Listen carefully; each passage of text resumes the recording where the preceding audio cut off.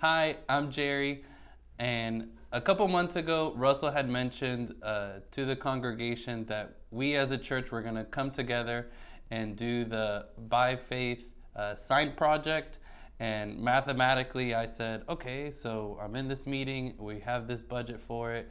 I tried figuring out how to do it, I got my number. Um, and I went up to Russell and I said, man, you know, I'm really excited for this. I think this is going to work out. This is how I did the math.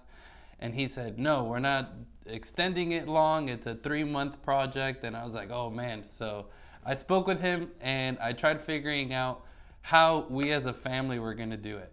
Um, and he explained to me what faith promises and how it works.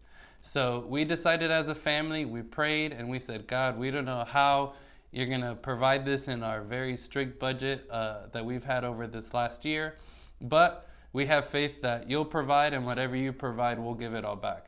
So the very next day, God made an introduction to a new potential client. We spoke with her. She was excited to move forward. And with the commission that we were going to make was exactly what we needed and we prayed for for the faith promised uh, tithe.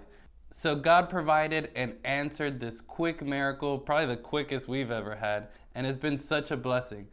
Maybe you're like us and this last year was really difficult. You've been on a strict budget and you're just making it out of the pandemic and you thought, "Man, I can give this amount or make this amount in 12 like monthly saving payments and give this one big offering."